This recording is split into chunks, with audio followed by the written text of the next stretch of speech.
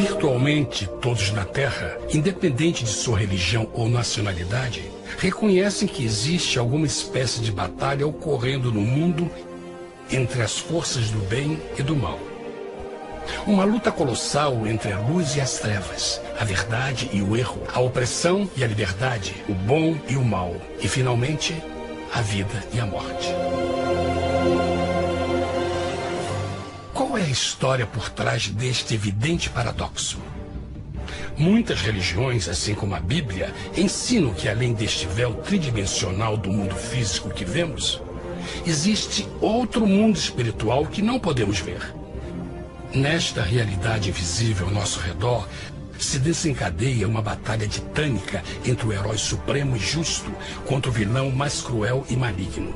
A grande pergunta é: quem são esses personagens e como e onde começou esta crise cósmica?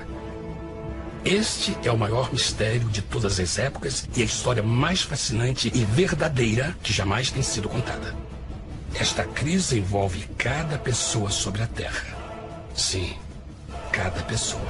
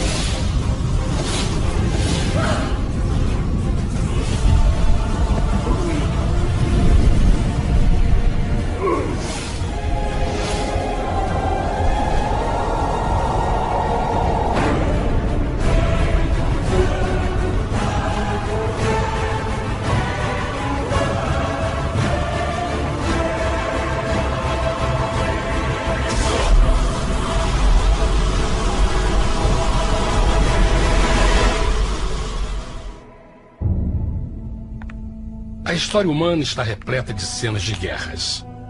E todas as pessoas já experimentaram conflitos. Mas para entender a origem do mal, devemos viajar ao passado para a Primeira Guerra do Universo. Porque esta guerra não aconteceu na Terra. Antes que o nosso mundo existisse, houve uma guerra no céu. Mesmo as palavras guerra no céu soam como uma contradição. É quase inimaginável para nós que pudesse haver batalhas e conflitos entre as criações de Deus no paraíso. O que pode ter causado este conflito celestial? Graças a um livro antigo chamado Bíblia, temos detalhes suficientes para poder juntar as peças e desatar os nós. Mesmo que trágica, é uma extraordinária e bela história de amor que vai desde o princípio dos tempos até tocar pessoalmente a você, a mim e a cada indivíduo na Terra. Nossa história começa há muito tempo atrás na capital do universo.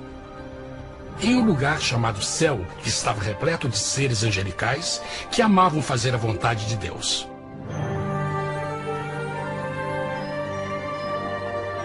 Sob o justo e amoroso governo do Criador, todo o céu desfrutava uma existência de felicidade e perfeita paz.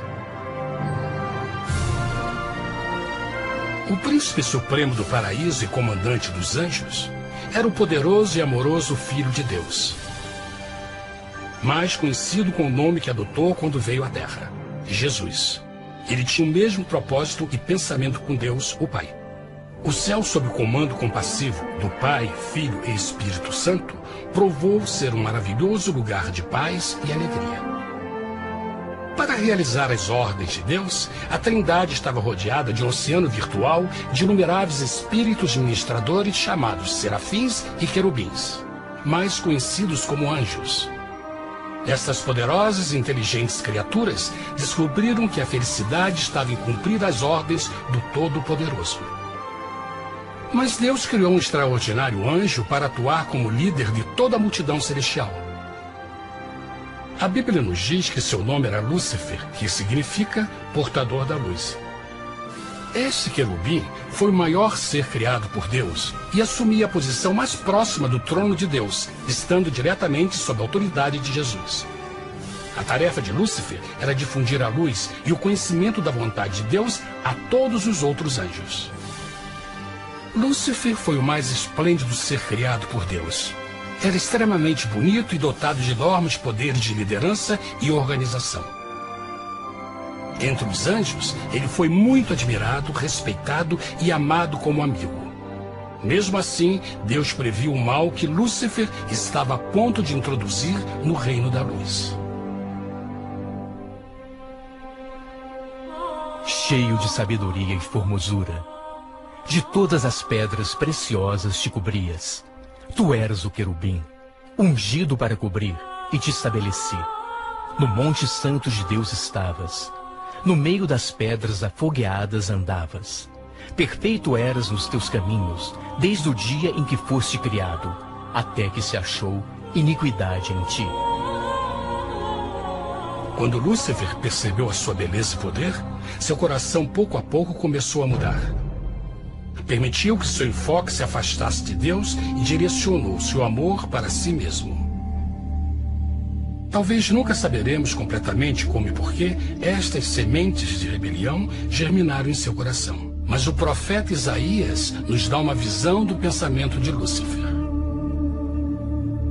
Como caíste desde o céu, ó estrela da manhã, filha da alva, como foste cortado por terra, tu que debilitavas as nações. E tu dizias no teu coração: Eu subirei ao céu acima das estrelas de Deus exaltarei o meu trono. Subirei sobre as alturas das nuvens e serei semelhante ao Altíssimo. Lúcifer aos poucos começou a cobiçar o poder de Deus, mas não sua personalidade.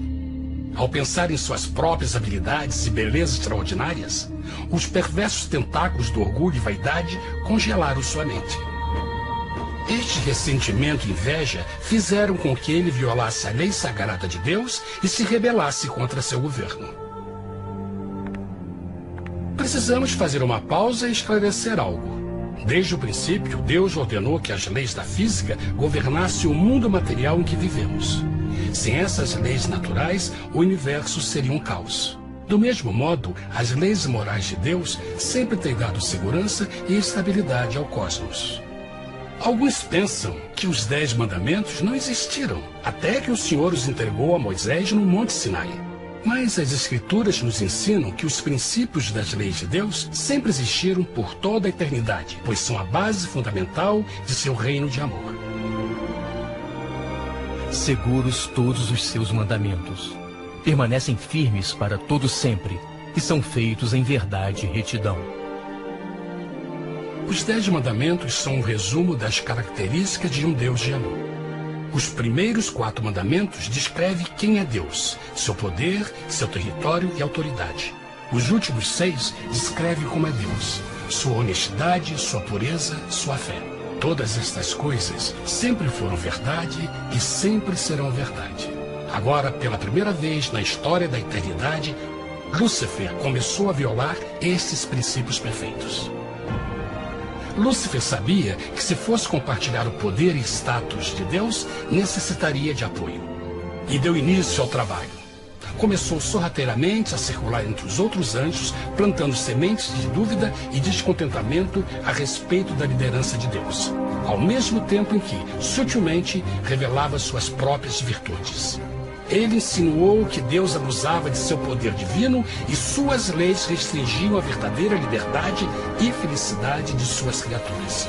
Com seu raciocínio audaz e poder de influência, Lúcifer pôde persuadir a um grande número de anjos a se unirem para seu motim. Talvez se perguntem como tantos anjos inteligentes puderam seguir esse desertor? Bom, lembrem que até esse ponto nenhum anjo tinha escutado uma mentira. E nesse primeiro estágio da rebelião, os anjos não perceberam a obsessão de Lúcifer em assumir a posição de Deus. Não sabiam que finalmente ele planejaria a tortura e o assassinato do Filho de Deus na cruz com a intenção de ocupar o seu trono. Estranhamente, Lúcifer pensou que poderia ocultar seus verdadeiros propósitos de Deus. Ai dos que querem esconder profundamente o seu propósito do Senhor e fazem as suas obras às escuras e dizem: Quem nos vê e quem nos conhece? Não pense nem por um momento que a rebelião de Lúcifer surpreendeu Deus e o pegou desprevenido. O Senhor sabe de todas as coisas e os pensamentos de suas criaturas. Ele entendia exatamente o que estava se passando pela mente de Lúcifer. E piedosamente Deus advertiu o desgarrado anjo do perigo. Mas no final, o orgulho e a vaidade não permitiram que Lúcifer se arrependesse. Então, iniciou a rebelião total contra Deus em vez da humilde obediência. Alguns podem perguntar: isso significa que Deus criou um anjo defeituoso? Não, mas ele criou Lúcifer com livre-arbítrio. Verão que o livre-arbítrio é uma coisa maravilhosa, mas também muito perigosa incluindo o risco de uma rebelião e a possibilidade de que o amor de Deus seja rejeitado. Vejam que o amor real não pode vir de uma criatura pré-programada e não pode ser forçado, deve ser voluntariamente dado. Por exemplo, mesmo que seja bonito este cachorro robô, na verdade, nunca poderá amar-me. Posso fazer que pareça que me ame, mas só estará seguindo instruções pré-programadas. Não tem opção. Por outro lado, este pequenino está realmente feliz em ver-me. Ele decidiu dar-me seu afeto. E com o tempo, nossa relação se fará mais forte, enquanto eu ame e cuide bem dele. Do mesmo modo, um Deus de amor só quer amor verdadeiro